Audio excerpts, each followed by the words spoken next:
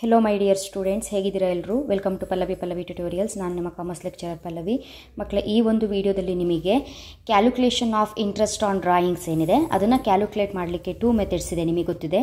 Interest on ಡ್ರಾಯಿಂಗ್ಸನ್ನ ನಾವು under product ಮೆಥಡಲ್ಲೂ ಕೂಡ calculate ಮಾಡಬಹುದು. ಆವ್ರೇಜ್ ಪೀರಿಯಡ್ ಮೆಥಡ್ ಅಥವಾ ಶಾರ್ಟ್ಕಟ್ ಮೆಥಡ್ ಅಂತ ಹೇಳ್ತೀವಿ, ಅದರಲ್ಲೂ ಕೂಡ ಕ್ಯಾಲ್ಕುಲೇಟ್ ಮಾಡಬಹುದು. ಈ ಹಿಂದಿನ ನಾಲ್ಕು ಪ್ರಾಬ್ಲಮ್ಗಳನ್ನ ನಿಮಗೆ ಆವ್ರೇಜ್ ಪೀರಿಯಡ್ ಮೆಥಡಲ್ಲಿ ಬಿಗಿನಿಂಗ್ ಕೊಟ್ಟರೆ ಯಾವ ರೀತಿಯಾಗಿ ಮಾಡಬೇಕು ಮಿಡಲ್ ಡೇಟ್ ಕೊಟ್ಟರೆ ಯಾವ ರೀತಿಯಾಗಿ ಪ್ರಾಬ್ಲಮ್ನ ಕ್ಯಾಲ್ಕುಲೇಟ್ ಮಾಡಬೇಕು ಎಂಡ್ ಡೇಟ್ನ ಕೊಟ್ಟರೆ ಯಾವ ರೀತಿಯಾಗಿ ಮಾಡಬೇಕು, ಮತ್ತು ಒಂದೇ ಪ್ರಾಬ್ಲಮಲ್ಲಿ ಬಿಗಿನಿಂಗು ಮಿಡಲು ಎಂಡನ್ನು ಹಾಕಿ ಒಂದು ಪ್ರಾಬ್ಲಮ್ನ ಲಾಸ್ಟ್ ವೀಡಿಯೋದಲ್ಲಿ ನಾನು ನಿಮಗೆ ಕೊಟ್ಟಿದ್ದೀನಿ. ಆ ವಿಡಿಯೋನ ವಾಚ್ ಮಾಡಿಕೊಂಡ್ರೆ ಸಿಕ್ಸ್ ಮಾರ್ಕ್ಸಿಗೆ ನಿಮಗೆ ಈಸಿ ಆಗುತ್ತೆ. ಸೊ ಪ್ರಾಡಕ್ಟ್ ಮೆಥಡ್ ನಿಮಗೆ ಪ್ರಾಬ್ಲಮ್ಮು ನಾರ್ಮಲ್ ಆಗಿ ಅವರು ಡೇಟು ಅಮೌಂಟನ್ನು ಕೊಟ್ಟಾಗ ಈಸಿಯಾಗಿ ಮಾಡಿಬಿಡ್ತೀರಿ. ಫಸ್ಟ್ ಕಾಲಮಲ್ಲಿ ಡೇಟ್ ಹಾಕ್ಕೊಂಡು ಸೆಕೆಂಡ್ ಕಾಲಮಲ್ಲಿ ಅಮೌಂಟ್ ಹಾಕ್ಕೊಂಡು ಎಷ್ಟು ಮಂತ್ಸ್ ಆಗಿದೆ ಅಂತ ಕ್ಯಾಲ್ಕುಲೇಟ್ ಮಾಡಿ ಟೋಟಲ್ ಪ್ರಾಡಕ್ಟನ್ನು ಫೈಂಡ್ ಔಟ್ ಮಾಡ್ತೀರಿ. ಬಟ್ ಈ ರೀತಿಯ ಪ್ರಾಬ್ಲಮ್ ಹೇಗಿರುತ್ತೆ ಅಂತ ಹೇಳಿದ್ರೆ ಇಲ್ಲಿ ಅವರು ನಿಮಗೆ ಜಸ್ಟ್ ಅಮೌಂಟನ್ನು ವಿತ್ಡ್ರಾ ಮಾಡಿರೋದು ಎಷ್ಟು ಅನ್ನುವಂತಹ ಇನ್ಫಾರ್ಮೇಷನ್ ಕೊಟ್ಟಿರ್ತಾರೆ ಆ್ಯಂಡ್ ಕ್ವಾರ್ಟರ್ ಅನ್ನುವಂತಹ ಇನ್ಫಾರ್ಮೇಷನ್ ಕೊಟ್ಟಿರ್ತಾರೆ. ಅದು ಬಿಗಿನಿಂಗ್ ಕ್ವಾರ್ಟರ್ ಆಗಿರಬಹುದು ಮಿಡಲ್ ಡೇಟ್ ಕ್ವಾರ್ಟರ್ ಆಗಿರಬಹುದು ಅಥವಾ ಎಂಡ್ ಆಫ್ ಈಚ್ ಕ್ವಾರ್ಟರ್ ಆಗಿರಬಹುದು. ಸೊ ಅವರು ಏನು ಕೊಟ್ಟಿದ್ದಾರೆ ಆ ಇನ್ಫಾರ್ಮೇಷನ್ ಮೇಲೆ ನೀವೇನು ಮಾಡಬೇಕು ಪ್ರಾಬ್ಲಮ್ನ ಮಾಡಬೇಕು. ಇದಕ್ಕೂ ಕೂಡ ಸಿಕ್ಸ್ ಮಾರ್ಕ್ಸೇ ಇರುತ್ತೆ. ಸೊ ಇಲ್ಲಿ ನೀವು ಕ್ವಾರ್ಟರ್ ಎಷ್ಟು ಮಂತ್ಸಿಗೆ ಕ್ವಾರ್ಟರ್ ಆಗುತ್ತೆ? ಎಷ್ಟು ಮಂತ್ಸನ್ನ ನಾವು ಒಂದು ಕ್ವಾರ್ಟರ್ ಅಂತ ಕರಿತೀವಿ? ಬಿಗಿನಿಂಗ್ ಡೇಟ್ ಅಂದರೆ ಯಾವ ಮಂತಿನ ಬಿಗಿನಿಂಗ್ ಡೇಟ್ ಬರುತ್ತೆ? ಒಂದು ಕ್ವಾರ್ಟರಿನ ಎಂಡ್ ಅಂದರೆ ಯಾವ ಮಂತಲ್ಲಿ ಬರುತ್ತೆ ಅಂತ ನೀವು ನೀಟಾಗಿ ತಿಳ್ಕೊಂಡ್ರೆ ಈ ಪ್ರಾಬ್ಲಮ್ನ ಈಸಿಯಾಗಿ ಮಾಡಬಹುದು. ಸೊ ಇಲ್ಲಿರುವಂತಹ ಪ್ರಾಬ್ಲಮ್ನ ಒಂದು ಕಡೆ ನೀಟಾಗಿ ಬರ್ಕೊಳ್ಳಿ. ಇಂಪಾರ್ಟೆಂಟ್ ಪ್ರಾಬ್ಲಮ್ ಇದು. Varun and Pavan are partners sharing profits and losses in the ratio of two is to one Varun withdrew rupees two thousand ಎಷ್ಟಂತೆ? Two thousand ರುಪೀಸ್ನ ವಿತ್ಡ್ರಾ ಮಾಡಿದ್ದಾನೆ at the end of each quarter. ಪ್ರತಿ ಕ್ವಾರ್ಟರಿನ ಎಂಡಲ್ಲಿ two thousand two thousand two thousand two thousand ಈ ರೀತಿಯಾಗಿ ಏನು ಮಾಡಿದ್ದಾರೆ ಅಮೌಂಟನ್ನು withdraw ಮಾಡಿದ್ದಾನೆ interest is charged at twelve percent per annum ಅಂತೆ on partners withdrawals calculate interest on Varun's drawings for the year ending thirty first March two thousand twenty three under product method ಓಕೆನಾ first ನೀವೇನು ತಿಳ್ಕೊಬೇಕು ಅಂತ ಹೇಳಿದ್ರೆ one ಇಯರ್ಗೆ total ಆಗಿ ಎಷ್ಟು months twelve months quarter ಪ್ರಾಬ್ಲಮ್ನ ಮಾಡುವಾಗ ನಮ್ಗೆ ಗೊತ್ತಿರಬೇಕು ಒನ್ ಇಯರಲ್ಲಿ ಟೋಟಲ್ ಆಗಿ ನಮಗೆ ಫೋರ್ ಕ್ವಾರ್ಟರ್ ಸಿಗುತ್ತೆ. ಫೋರ್ ಕ್ವಾರ್ಟರ್ ಅಂತ ಹೇಳಿದ್ರೆ three month is equal to one quarter three months is equal to one quarter business start ಆಗೋದು ಏಪ್ರಿಲ್ ಫಸ್ಟಿಗೆ ಬಿಸ್ನೆಸ್ ಎಂಡ್ ಆಗೋದು ಮಾರ್ಚ್ ತರ್ಟಿ ಫಸ್ಟಿಗೆ ಸೊ ನಾವೇನು ಮಾಡಬೇಕು? ಈ ಕ್ವಾರ್ಟರ್ ಮಂತ್ಸನ್ನ ಡಿವೈಡ್ ಹೇಗೆ ಮಾಡ್ಕೋಬೇಕು? April May June one quarter July August September second quarter October November December third quarter January, February, March fourth quarter. ಹಾಗಾದರೆ ಒನ್ ಕ್ವಾರ್ಟರಿನ ಡೇಟ್ ಏನು ಅಂತ ಹೇಳಿದ್ರೆ, ಏಪ್ರಿಲ್ ಫಸ್ಟಿಗೆ ಸ್ಟಾರ್ಟ್ ಆಗಿ ಜೂನ್ ತರ್ಟಿಯತ್ವರೆಗೂ ಕೂಡ ಫಸ್ಟ್ ಕ್ವಾರ್ಟರ್ ಇರುತ್ತೆ. ಜುಲೈ ಫಸ್ಟಿಂದ ಸ್ಟಾರ್ಟ್ ಆಗಿ ಸೆಪ್ಟೆಂಬರ್ ತರ್ಟಿವರೆಗೂ ಕೂಡ ಸೆಕೆಂಡ್ ಕ್ವಾರ್ಟರ್ ಇರುತ್ತೆ.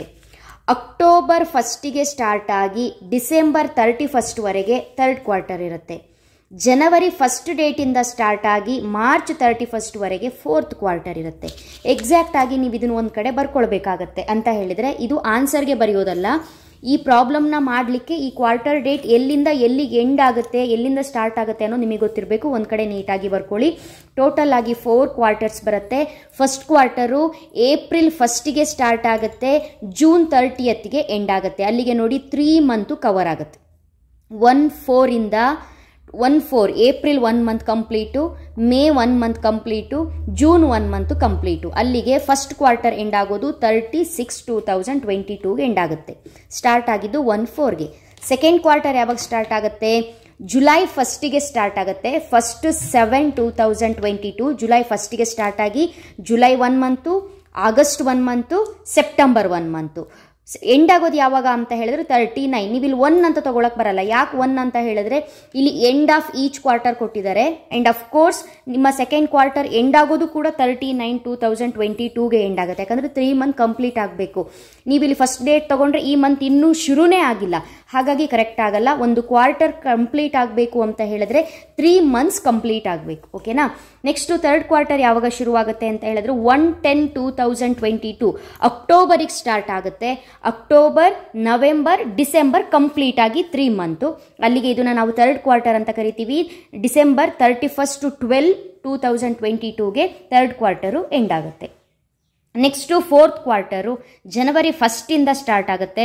ಜನವರಿ first full month February full month March full month so March thirty ಫಸ್ಟಿಗೆ ಫೋರ್ತ್ ಕ್ವಾರ್ಟರು ಎಂಡ್ ಆಗುತ್ತೆ. ಅಲ್ಲಿಗೆ ಬಿಸ್ನೆಸ್ ಸ್ಟಾರ್ಟ್ ಆಗಿದ್ದು one four two thousand twenty ಟೂಗೆ end ಆಗಿದ್ದು thirty first March two thousand twenty ತ್ರೀಗೆ ಓಕೆನಾ? ಈ ರೀತಿ ಕ್ವಾರ್ಟರ್ನ ನೀವು ಡಿವೈಡ್ ಮಾಡ್ಕೊಂಡ್ರಿ. ಇಲ್ಲಿ ನಿಮಗೇನು ಸಿಕ್ತು? ಪ್ರಾಬ್ಲಮಲ್ಲಿ ಏನು ಹೇಳಿದ್ದಾರೆ ಎಂಡ್ ಆಫ್ ಈಚ್ ಕ್ವಾರ್ಟರ್ ಅಂತ ಹೇಳಿದ್ದಾರೆ ಎಂಡ್ ಆಫ್ ಈಚ್ ಕ್ವಾರ್ಟರ್ ಅಂತ ಹೇಳಿದ್ರೆ ಒನ್ ಇಯರ್ಗೆ ಎಷ್ಟು quarter four quarters end of each quarter ಅಂತ ಹೇಳಿದ್ರೆ ನಿಮಗೆ ಎಷ್ಟು ಎಂಡ್ ಬರುತ್ತೆ?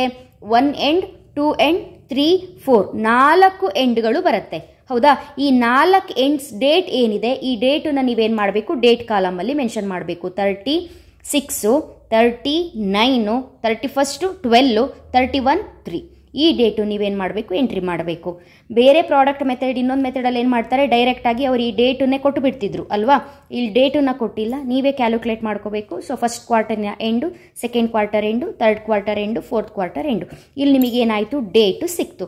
ಈ ಡೇಟನ್ನ ಏನು ಮಾಡಿ ಅಂತ ಹೇಳಿದ್ರೆ ಪ್ರಾಬ್ಲಮ್ಗೆ ಆನ್ಸರ್ನ ಮಾಡುವಾಗ ಡೇಟನ್ನು ಎಂಟ್ರಿ ಮಾಡಬೇಕು. ಆನ್ಸರ್ನ ಸ್ಟಾರ್ಟ್ ಮಾಡೋದಕ್ಕಿಂತ ಮುಂಚೆ calculation of interest on Varun's drawings under product method ಅಂತ ಬರ್ಕೊಂಡು ನಾಲ್ಕು ಕಾಲಮ್ನ ಹಾಕೋಬೇಕು. Date, amount, period, in bracket, in months, product. Date ಕಾಲಮಲ್ಲಿ ಇವಾಗ ಏನು ಕ್ಯಾಲ್ಕುಲೇಟ್ ಮಾಡಿದ್ವಿ ನಾಲ್ಕು ಡೇಟು? ಆ ಡೇಟನ್ನು ಎಂಟ್ರಿ ಮಾಡಬೇಕು. Thirty six two thousand twenty two, thirty nine two thousand twenty two, thirty one twelve two thousand twenty two, thirty first March two thousand twenty two. ಓಕೆನಾ? ಈ ನಾಲ್ಕು ಡೇಟನ್ನು ಬರೆದಾದ್ರ ಮೇಲೆ ಅಮೌಂಟನ್ನು ಎಷ್ಟು ವಿತ್ಡ್ರಾ ಮಾಡಿದ್ದಾರೆ ಅಂತ ಹೇಳ್ಕೊಂಡು ಪ್ರಾಬ್ಲಮಲ್ಲಿ ಕೊಟ್ಟಿದ್ದಾರೆ. ವರುಣ್ ರುಪೀಸ್ ಟೂ ತೌಸಂಡ್ನ ವಿತ್ಡ್ರಾ ಮಾಡಿದ್ದಾನೆ. ಸೊ ಆ ಟೂ ತೌಸಂಡ್ನ ಏನು ಮಾಡಬೇಕು? ಎಲ್ಲ ಡೇಟಿಗೂ ಎಂಟ್ರಿ ಮಾಡಬೇಕು. At the end of each quarter ಎಲ್ಲ ಟೈಮಲ್ಲೂ ಕೂಡ ಅವ್ನು ಟೂ ತೌಸಂಡೇ ವಿತ್ಡ್ರಾ ಮಾಡಿರೋದು. ಎಲ್ಲ ಕಡೆ two thousand two thousand two thousand two thousand ಬರೀಬೇಕು. ನೆಕ್ಸ್ಟ್ ಇವಾಗ ಏನು ಮಾಡಬೇಕು ಅಂತ ಹೇಳಿದ್ರೆ ಮನ್ಸನ್ನು ಕ್ಯಾಲ್ಕುಲೇಟ್ ಮಾಡಬೇಕು. ಹೇಗೆ ಮನ್ಸನ್ನು ಕ್ಯಾಲ್ಕುಲೇಟ್ ಮಾಡಬೇಕು ಅಂತ ಹೇಳಿದ್ರೆ ಎಂಡ್ ಆಫ್ ಈಚ್ ಕ್ವಾರ್ಟರ್ ಅಂತ ಹೇಳೋದು ನಿಮಗೆ ನೆನಪಿರಲೇಬೇಕು. ಫಸ್ಟ್ ಕ್ವಾರ್ಟರ್ ಯಾವಾಗ ಎಂಡ್ ಆಗಿದೆ ಅಂತ ಹೇಳಿದ್ರೆ thirty six two thousand twenty ಟೂಗೆ end ಆಗಿದೆ. ಹೌದಾ? ಇಲ್ಲಿ ಎಂಡ್ ಆಗಿದೆ ಅನ್ನೋ ಡೇಟನ್ನು ನಾವು ಯಾವಾಗ ಫೈಂಡ್ ಔಟ್ ಮಾಡ್ಕೊಂಡಿದ್ದೀವಿ ಕ್ವಾರ್ಟರ್ ಎಲ್ಲಿಂದ ಎಲ್ಲಿಗೆ ಅನ್ನೋದು ಗೊತ್ತಿದೆ. ಇಲ್ಲಿಗೆ ಎಂಡ್ ಆಗಿದೆ. ಹಾಗಾದರೆ ಇಲ್ಲಿ ಎಂಡ್ ಆದ್ರ ಮೇಲೆ ರಿಮೈನಿಂಗ್ ಎಷ್ಟು ಮಂತ್ಸ್ ಉಳಿತು? ಅಪ್ ಟು ತರ್ಟಿ ಫಸ್ಟ್ ಮಾರ್ಚ್ವರೆಗೆ ಅನ್ನೋದು ಕ್ಯಾಲ್ಕುಲೇಟ್ ಮಾಡಬೇಕು. ಅಲ್ಲಿಗೆ ಫಸ್ಟ್ ಮುಗ್ದಿರೋದು ಜೂನಿಗೆ ಕ್ಯಾಲ್ಕುಲೇಟ್ ಮಾಡಿ July August, September, October, November, December, ಜನವರಿ, ಫೆಬ್ರವರಿ, ಮಾರ್ಚ್. ಟೋಟಲ್ ಆಗಿ ನೈನ್ ಮಂತ್ಸ್ ಸಿಗುತ್ತೆ. ಜೂನ್ ಎಂಡಿಗೆ ಫಸ್ಟ್ ಕ್ವಾರ್ಟರ್ ಎಂಡ್ ಆಗಿ ಹೋಗಿದೆ.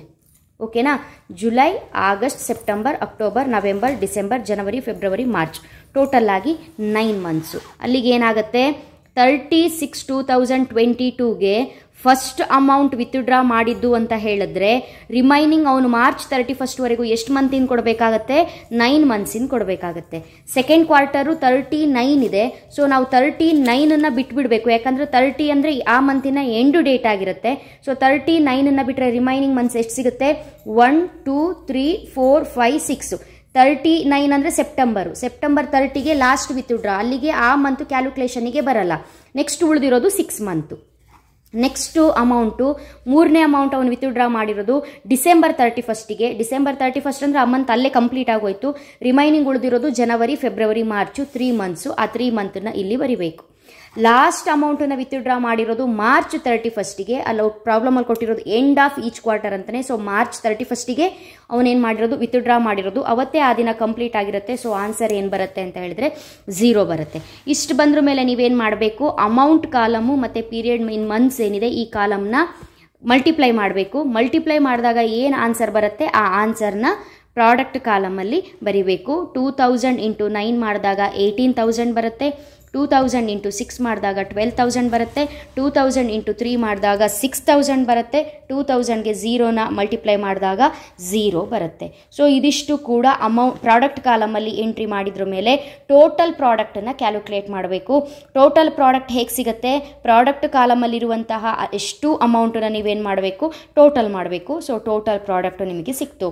ದೇರ್ ಫೋರ್ ಇಂಟ್ರೆಸ್ಟನ್ನು ಕ್ಯಾಲ್ಕುಲೇಟ್ ಮಾಡಲಿಕ್ಕೆ ಇರುವಂತಹ ಫಾರ್ಮುಲಾ ಏನು? Total product into rate into one by twelve total product ಎಷ್ಟು thirty six thousand into rate rate ಎಷ್ಟು ಕೊಟ್ಟಿದ್ದಾರೆ ಪ್ರಾಬ್ಲಮಲ್ಲಿ ಟ್ವೆಲ್ ಪರ್ಸೆಂಟ್ ಕೊಟ್ಟಿದ್ದಾರೆ. ಸೊ ಆ ಟ್ವೆಲ್ ಪರ್ಸೆಂಟ್ನ ನೀವೇನು ಮಾಡಬೇಕು? ಇಲ್ಲಿ ಬರ್ಕೊಳ್ಬೇಕು. Twelve by hundred into one by twelve as it is ಫಾರ್ಮುಲಾದಲ್ಲಿ ಏನಿದೆ? ಅದನ್ನು ಅಪ್ಲೈ ಮಾಡಬೇಕು. ನೋಡಿದಾಗ ನಿಮಗೆ ಆನ್ಸರ್ ಎಷ್ಟು ಬರುತ್ತೆ? ರುಪೀಸ್ ತ್ರೀ ಸಿಕ್ಸ್ಟಿ ಬರುತ್ತೆ. ಇದು ಫೈನಲ್ ಆನ್ಸರ್ ಏನಾದರೂ ಅವರು ಪ್ರಾಬ್ಲಮ್ಮಲ್ಲಿ ನಿಮಗೆ ಇಲ್ಲಿ ಎಂಡ್ ಕೊಟ್ಟಿದ್ದಾರಲ್ಲ ಅದೇ ಬಿಗಿನಿಂಗ್ ಆಫ್ ಈಚ್ ಕ್ವಾರ್ಟರ್ ಇಲ್ಲಿ ಏನು ಮಾಡಿದ್ದಾರೆ ಈ ಅಮೌಂಟನ್ನು withdraw ಮಾಡಿದಾನಲ್ಲ Varun. End of each quarter ಬದಲು ಬಿಗಿನಿಂಗ್ ಆಫ್ ಈಚ್ ಕ್ವಾರ್ಟರ್ ಮಾಡಿದರೆ ಅವಾಗ ಏನಾಗುತ್ತೆ ಅಂತ ಹೇಳಿದ್ರೆ ಎಲ್ಲ ಒಂದೊಂದು ಮಂತ್ ಜಾಸ್ತಿ ಆಗುತ್ತೆ. ಕಾರಣ ಬಿಗಿನಿಂಗ್ ಆಫ್ ಈಚ್ ಮಂತ್ ಅಂದರೆ ಇದು ಜೂನ್ ಫಸ್ಟಿಗೆ ತೊಗೊಂಡಿರ್ತಾನೆ. ಇಲ್ಲಿ ಸೆಪ್ಟೆಂಬರ್ ಫಸ್ಟಿಗೆ ತೊಗೊಂಡಿರ್ತಾನೆ.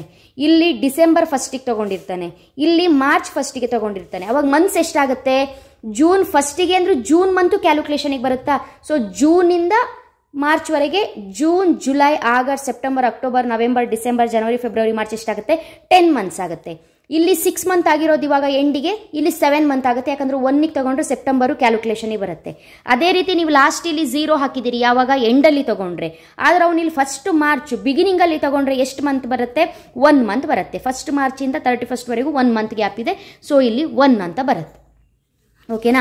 ಸೊ ಇದಿಷ್ಟು ಕೂಡ ಎಂಡಲ್ಲಿ ಕೊಟ್ಟರೆ ಮಾಡುವಂತಹ ಪ್ರಾಬ್ಲಮ್ಮು ನೆಕ್ಸ್ಟ್ ಪ್ರಾಬ್ಲಮ್ ಬಿಗಿನಿಂಗ್ ಹೇಳಿದ್ನಲ್ಲ, ಆ ಡೇಟ್ ಕ್ಯಾಲ್ಕುಲೇಷನಿಗೆ ಬರುತ್ತೆ. ಯಾವ, ಯಾವುದು ಅಂತ ಹೇಳಿದ್ರೆ ಫಸ್ಟ್ ಏನು ತಗೊಳ್ಬೇಕು? ಅದು ಕ್ಯಾಲ್ಕುಲೇಷನಿಗೆ ಬರುತ್ತೆ.